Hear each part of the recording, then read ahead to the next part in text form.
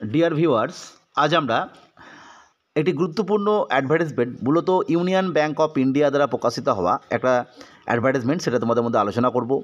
মূলত এটা দেখতেই পাচ্ছ তোমরা যে এর যে পোস্ট সেটা হচ্ছে লোকাল ব্যাঙ্ক অফিসার বা এলবিও পদে নিয়োগ হবে এবং যার যোগ্যতা, যার এক্সাম প্যাটার্ন পুরো বিষয়টা আলোচনা করব। গুরুত্বপূর্ণ যে বিষয়, সেটা যে ভ্যাকেন্সি রয়েছে পনেরো, পনেরোশোটা। অর্থাৎ এটা কিন্তু অবশ্যই অল ওভার মানে ইন্ডিয়াতে সারা দেশে ভ্যাকেন্সি পনেরোশোটা।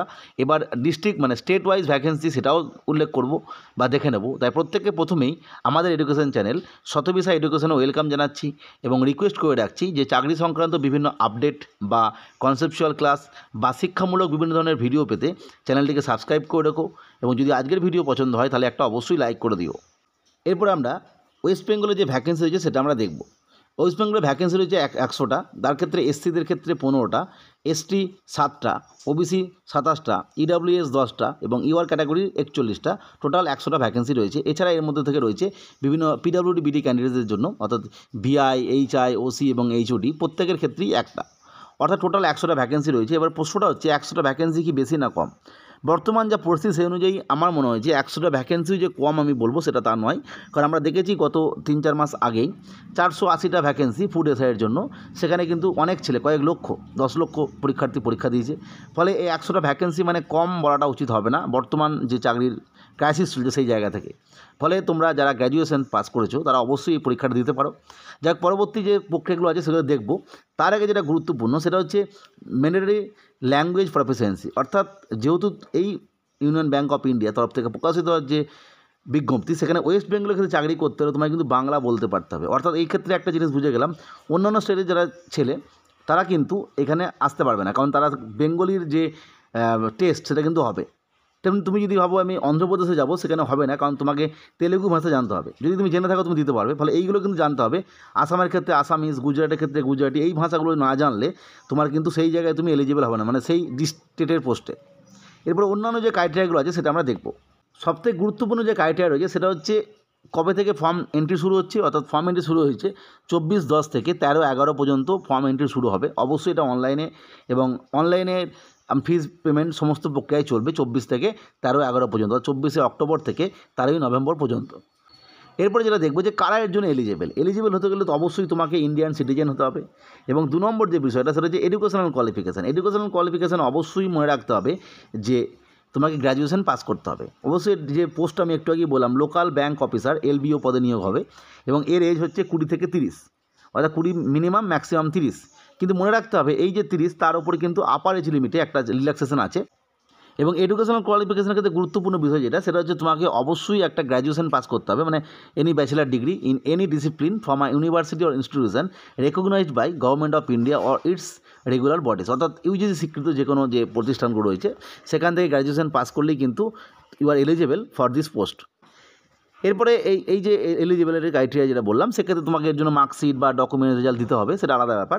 নেক্সট যেটা গুরুত্বপূর্ণ বিষয়, সেটা হচ্ছে cut off off dates eligibility এটা খুব গুরুত্বপূর্ণ। এজ যেটা ধরা হবে, এটা এজ ধরা হবে এক দশ চব্বিশ এক দশ চব্বিশে তোমার বয়স যদি কুড়ি থেকে তিরিশ হয়, তুমি এর জন্য এলিজিবল এবং এডুকেশনাল কোয়ালিফিকেশান সেটা যে তেরো, এগারো দু হাজার চব্বিশের মধ্যে কিন্তু প্রসেস করতে অর্থাৎ যেদিনে এন্ট্রি শেষ হচ্ছে, তার মধ্যে কিন্তু সমস্ত ডকুমেন্টসের যে ডেট সেটা যেন তার আগে হয়।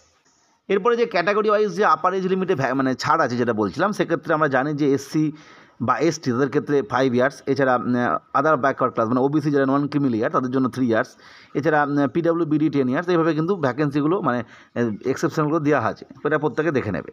এরপরে জানতে হবে আমাদের যে এক্সামটা কীভাবে হবে। প্রথমে যে অনলাইন এক্সামটা হবে, সেটা হচ্ছে দেখতেই পাচ্ছ তোমরা যে নেম অফ দ্য টেস্ট আর এটা হচ্ছে নাম্বার অফ কোশ্চেন এবং হচ্ছে ম্যাক্সিমাম মার্কস অর্থাৎ তোমরা বুঝবে, দুশো মার্কসের একটা পরীক্ষা হবে, যেখানে কোশ্চেন থাকবে একশো পঞ্চান্নটা এবং কোশ্চেনের যে মানে ল্যাঙ্গুয়েজ সেটাও বলে দেওয়া হয়েছে যে রিজনিং অ্যাপটিটিউড সেক্ষেত্রে কোশ্চেন থাকবে পঁয়তাল্লিশটা কোশ্চেন মানে মার্কস ষাট এবং সেটা প্রশ্ন হবে ইংলিশ এবং হিন্দিতে, যার টাইম থাকবে ষাট মিনিট ঠিক একই রকমভাবে জেনারেল ইকোনমি ব্যাঙ্কিং অ্যাওয়ারনেস এর উপরে কোশ্চেন থাকবে চল্লিশটা এবং ম্যাক্সিমাম মার্কস ষাট, চল্লিশ এবং এখানেও যে টাইম পাবেন সেটা পঁয়ত্রিশ মিনিট এবং এটাও হবে ইংলিশ এবং হিন্দিতে।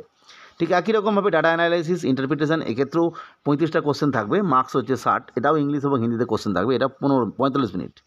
আর ইংলিশ ল্যাঙ্গুয়েজের ক্ষেত্রে যে কোশ্চেন সংখ্যা সেটা হচ্ছে থার্টি ফাইভ এবং মার্কস ফর্টি এবং অবশ্যই ইংলিশ ল্যাঙ্গুয়েজ মানে বুঝতে পারছি ইংলিশে প্রশ্ন হবে এবং যার মধ্যে চল্লিশ মিনিট টাইম পাবে। দু যে একশো আশি মিনিটের মধ্যে পরীক্ষাটা হবে।